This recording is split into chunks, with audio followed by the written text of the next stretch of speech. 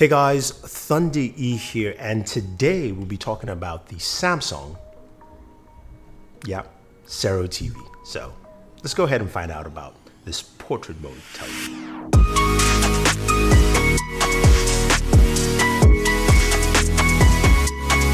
So the Sero TV is one of the first portrait style TVs. It basically stands in your living room. It's not something that you can mount, but also it's a very interesting concept. Uh, it's a 43 inch television from Samsung and the unboxing experience is none like that I've ever seen.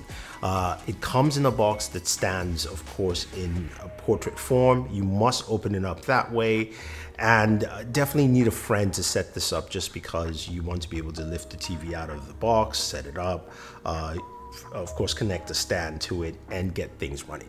Now, as a device and TV set, it is well built. It looks really nice, and Samsung does a really good job when they are designing and making their devices. And the Sero TV is no exception. Uh, I think it kind of falls in the line of the frame TVs. If you know the frame TVs that look like a, a poster out there, it's a really nice looking TV, and I think the Sero kind of flows in that direction. Um, it's something that can stay in a corner in your living room, and I like that. Or it can stay in corner in your bedroom. And depending on your location, uh, I think this is something that kind of fits that. But the biggest thing, of course, with this TV is the fact that it can stay and play in portrait mode and then rotate over, of course, to landscape whenever you need it. Now, before we get into all that facsimile, uh, let's look at what we have with this TV. Uh, it has three HDMI ports, one with an eARC, two USB ports at the back, well hidden. It's got a 4.1 speaker with a nice sub, and the speakers sound really good. Uh, don't take my word, just, just take a quick listen.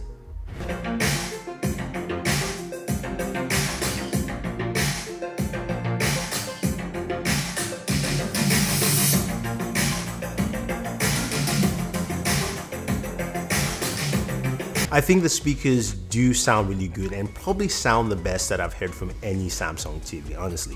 Again, there's more room at the bottom there to put house a bigger speaker system, giving you just more robust sound overall. So I think a lot of people will like uh, what you hear from this. Now it comes with a standard Samsung remote control, white. I do like the look of the remote. You do have, of course, your Netflix, Amazon buttons there, which is cool. All the buttons are similar except on the top right hand corner, there is the rotate button.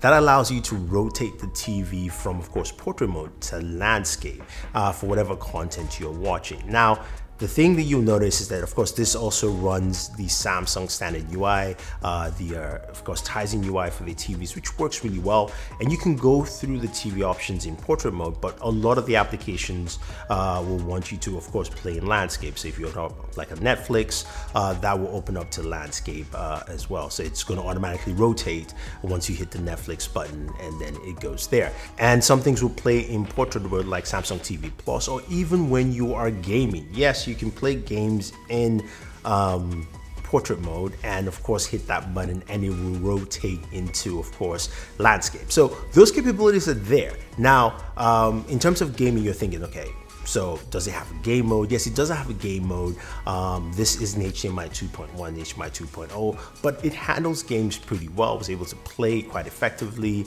and also the rotating from portrait to landscape was quite interesting overall. So now the question is, what do you really use this kind of TV for? What's the whole idea of something like this? Well, I think it's the ability to connect with your smartphone. That's what Samsung has pushed.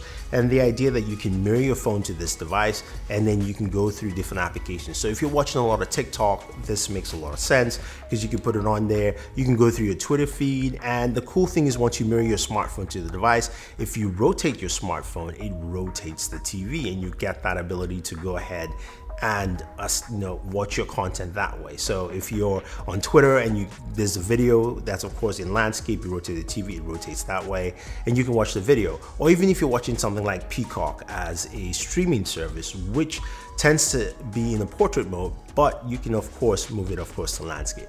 So I get that. Uh, to me, this there's really not much practicality, at least for my day-to-day use, for TV like this. But I can see it fitting in a lot of people's homes, especially in the corner right there. So behind me, of course, you guys can clearly see the TV set. And it's nice that it's there. So if you've got a smaller apartment, this actually will fit in. The, the space it takes up is really smaller, especially because it's a 43 inch TV, as opposed to say 55 or 65. And it can take up that kind of, you know, small footprint. The one thing I wish Samsung added to was a pop-up camera, something you could use for video calls, for instance, especially in this day and age where we're doing a lot of Zoom calls, we're doing a lot of video calls to family, if you're staying at home, that kind of thing would be nice. And also using it as a mirror, because then you can use it for self-starting mirror, you can use some AR functionality. Those are the kinds that I would have loved to see on this TV set to kind of take it beyond just the idea that it's a TV. Now, is this TV for you? Probably not. Is this TV for a lot of people? No, no. But it actually works well and it does what Samsung says you should do. Now, it's priced at about 1500 maybe 1600 depending where you check. Uh, and I would say it's solid. It really is solid. It does what it's supposed to do. I can use it for other functionality, but it is uh, more of an accessory piece if you can afford to do that and if you want or if you want something small that will fit into your apartment and you can move from place to place especially if you're not sure where to put up your tv um, in your home or even in the studio i would say if you've got a studio apartment this will definitely work well so that is the Sero TV from Samsung, uh, one that you know is in portrait mode and switches to landscape. Kind of, of course, kind of like the LG Wing smartphone, but of course this came out first. Um, you also have some very decent app integration with, of course, the uh, Samsung SmartThings app, where you can go in and control the TV set directly from your smartphone by either, of course, uh, using the remote control functionality or setting up some of the features on the phone, which is nice. So you've got the ability to switch between different layouts there. Like as you can see behind me, I've got an image, of course, of Lemillion. I can switch over to Cinegraph, photos, posters, a clock, you name it. You've got all those features built in that. You can do that directly on the TV set itself, but it's nice to see that you can do it directly from your smartphone. Let me know your thoughts, guys. What do you think about this kind of TV concept? Is this something you would use in a smaller, uh, smaller home, a smaller apartment, maybe a studio? Uh, but just leave your thoughts down below. Otherwise, guys, don't forget to like, share, subscribe, and always enjoy entertainment.